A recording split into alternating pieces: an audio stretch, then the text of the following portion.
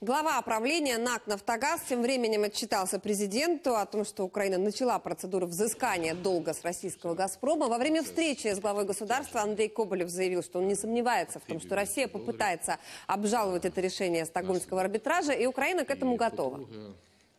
Та скільки Англії Рішення суду все-таки має вищу силу, ніж позиція менеджерів «Газпрому». Е, І по сумі 2,6 мільярда доларів е, процес е, примусового виконання перейшов практично площину. Е, Буквально сьогодні е, ми розпочали обтяження акцій та інших активів «Газпрому» в країнах Європи. Я знаю, що ці процеси почалися вже в Швейцарії, в Англії, в Нідерландах.